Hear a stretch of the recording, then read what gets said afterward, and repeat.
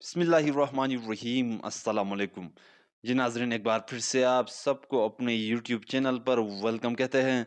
जी दोस्तों, Pakistan cricket team के मायनाज, बल्लेबाज और सबक कप्तान बाबर आज़म ने आखिरकार सरफराज अहमद के मुतलक बहुत बड़ी बात कहती है। सरफराज अहमद खान और बाबर आज़म इकट्ठे कौमी टीम और एक दूसरे की कप्तानी में बतौर खिलाड़ी भी खेल चुके हैं। यही वजह है कि बाबर आज़म ने सरफराज अहमद के मुतलक बहुत बड़ा दावा किया है। बाबर आज़म ने आखिर क्या कुछ कहा है? आपको इस वीडियो में बताते हैं। आपसे हमारी रिक्वेस्ट है कि हमारे चैनल को ज़रूर सपोर्ट करें, ताकि हम इसी तरह की वीडियोस वक्ता फ़वक्ता आप तक पहुँचा सके। जी दोस्तों, सबक कौमी कप्तान और मशहूर बल्लेबाज बाबर आज़म ने दिल खोल कर सरफराज अहमद खान की तारीफ़ कर दी है।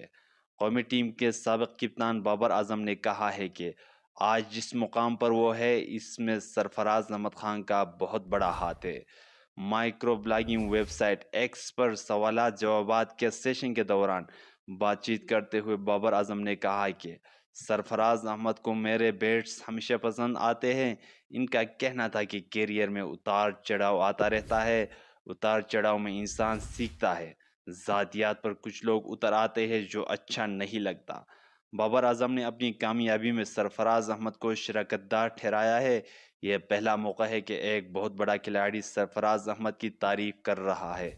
वाजह रहे कि सरफराज अहमद खान को ही कप्तानी से हटाकर बाबर आज़म को कौमी टीम का कप्तान बनाया गया था।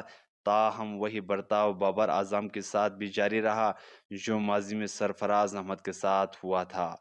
बाबर और सरफराज दोनों एक ही गम के मारे हैं। शायद इसीलिए बाबर सरफराज की तारीफें कर रहा है।